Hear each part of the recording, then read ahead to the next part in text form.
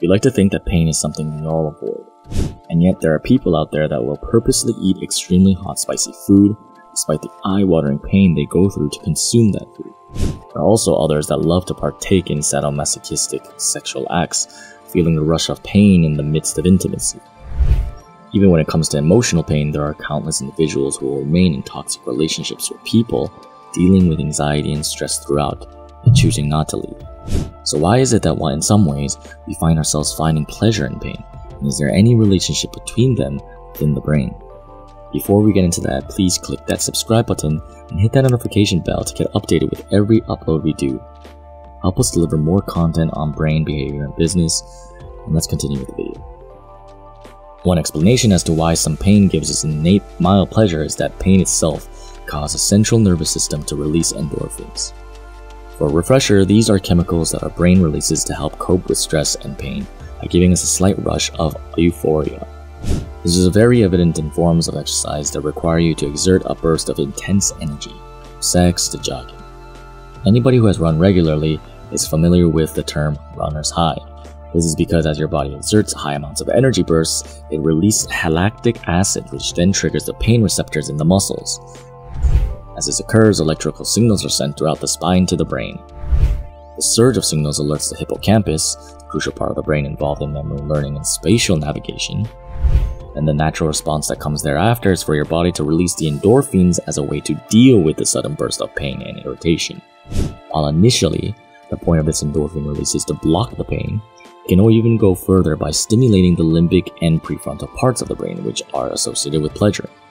In addition to this, intense exercises such as sex or a workout can release anandamide, which attaches itself to the brain's receptors to help block pain and instead create a sense of warmth and pleasure. Finally, to add to that even further, your body produces adrenaline as well, which raises a person's heart rate and in turn sense of excitement. With all of these chemicals aimed at blocking pain and inevitably leading to providing pleasure, it's no wonder why things can sometimes feel so good even though we're suffering. Besides this rush of momentary bliss we feel physiologically, what else motivates us to seek for such painful yet pleasurable experiences?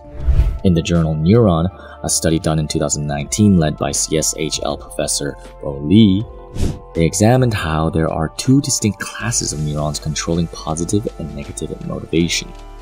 Its ability to recognize rewards and punishments is determined by the ventral pallidum, a part of the brain in the basal ganglia that relates to reward, learning, hedonics, and motivation.